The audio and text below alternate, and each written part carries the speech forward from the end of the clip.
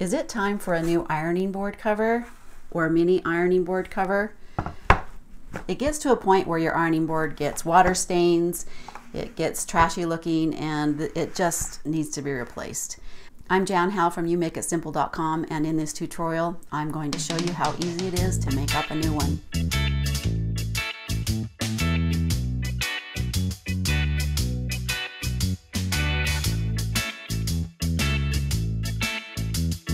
Items and things that you'll need to make your ironing board cover are pins, a pair of scissors, a yard and a half of quarter inch elastic, some kind of marking device that you can use on fabric. This is a chalk pen or you can use a, a even a pencil will work.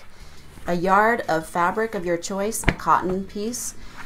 I'm using for this particular one, I want a white cover, so this is just a recycled um, sheet that I'm gonna, going to use. A package of bias tape, wide single fold. You can also just use about a yard and a half of single fold bias tape that you make yourself, a seam gauge or a ruler. And you'll also need a sewing machine. Let's gather your goods and we'll get started. So just take your ironing board, place it down on the fabric with the wrong side facing up and we're going to measure and trace around the ironing board at one and a half inches.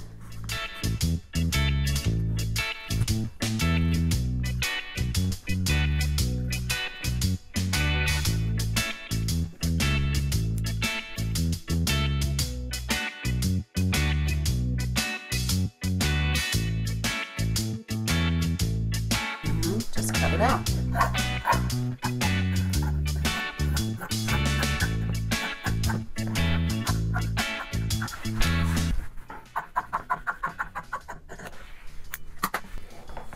So if you needed new padding as well, you could use um, batting, cotton batting, or another piece of thin foam. You just cut that out the same size, or or even just the the same size minus the outer one and a half inch to give you some padding if you needed it. So here's a time saving tip. When you make your pattern, initial pattern, you have traced around your the edge of the ironing board and given yourself the inch and a half. I've made a pattern instead of just using that and having to, when you need to make another one up, having to retrace your ironing board, simply before you sew it up, lay it on another piece of, this is just a recycled old sheet and i am making a pattern so that I can, next time I want to make another ironing board cover, I'll just get out my pattern. Instead of having to measure and trace it all over again, I have this pattern I can just lay out and quickly make up another one.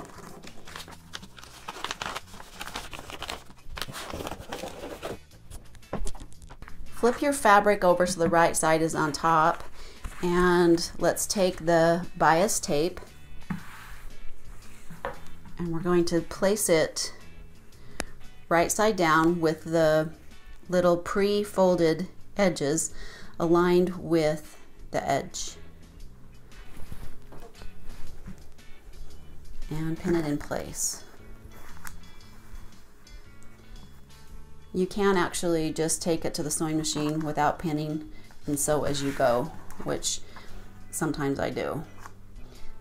What I really like about bias tape is it's going to curve around the corners really nicely.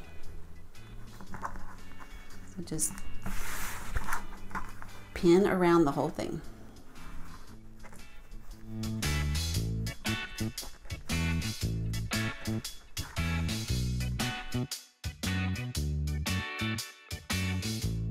So when you come around to the other side, you're going to take the bottom piece and fold it over a half inch and then overlap the bias tape and cut we're going to cut it so it's overlapping a half inch.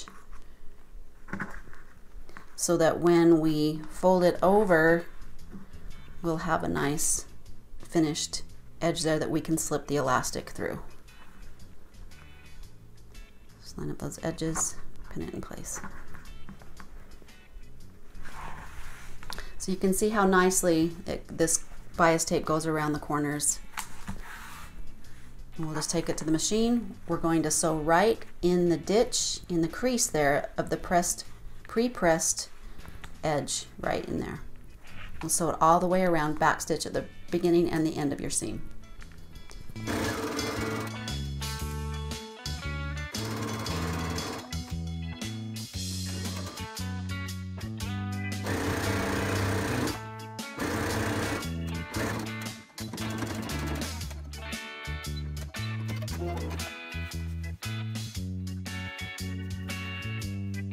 Now that we've sewn all the way around, sewn the bias tape all the way around, we're going to just fold it over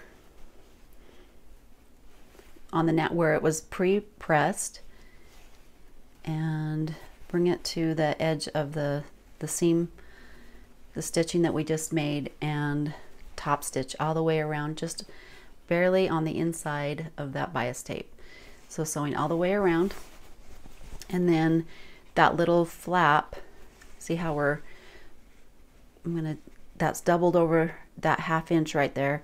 So just fold that top part over and bring it to the front. And that leaves a little hole here that we can stick the, the safety pin in and thread the elastic through. So you can pin all the way around, but I'm just going to hold it as and sew as I go.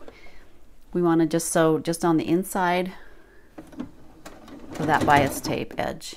And I'm going to back stitch for the beginning and the end of the seam. I'm lining up the edge of the bias tape which is with the edge of the stitching, the previous stitching line.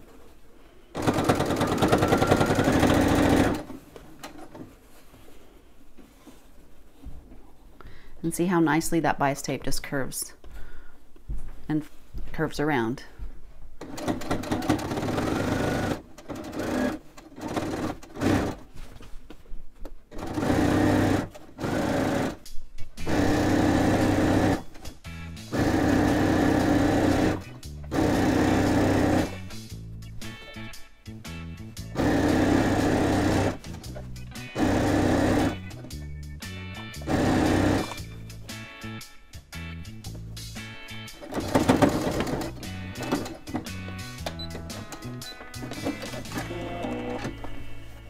Now that we've sewn the bias tape all the way around, take a small safety pin and attach it to the end of your elastic and we're going to thread it through that little hole that was left in the bias tape. And just thread it through all the way around. We'll pull it out at the end and sew the ends together.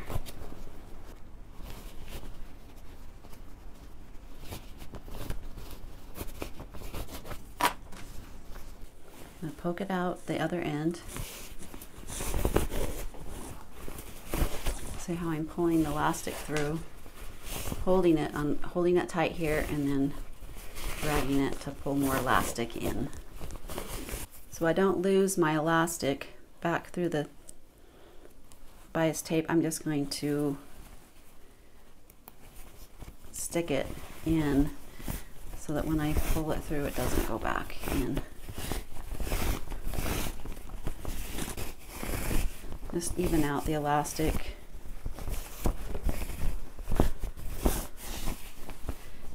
To about like that and then we'll put it on. Put your padding down.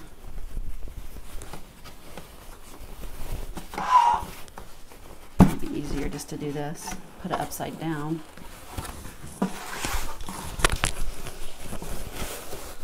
Give it a pull.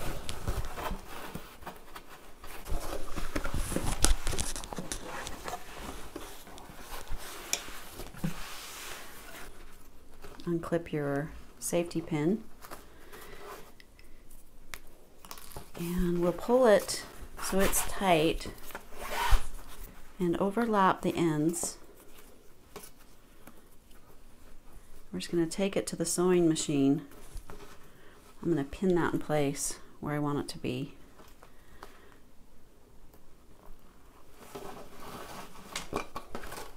just take it off the ironing board.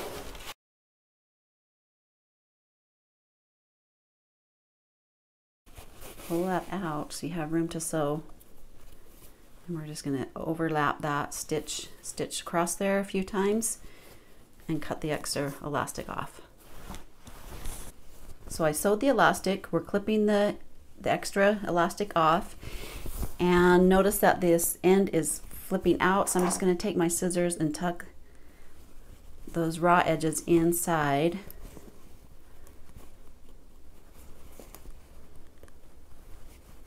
the point of my scissors now those raw edges are tucked inside and so that doesn't fray when you want to wash this I'm just going to take it to the sewing machine and sew right on the edge of that the bias tape, the fold of the bias tape. Now that I've finished this seam, let's go ahead and put it on our ironing board.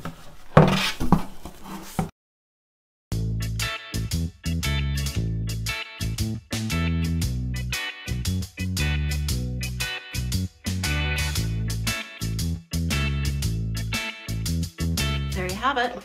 Nice ironing, mini ironing board cover a finished edge so that you can wash it, easy to get on and off, a bright color fabric for your sewing room.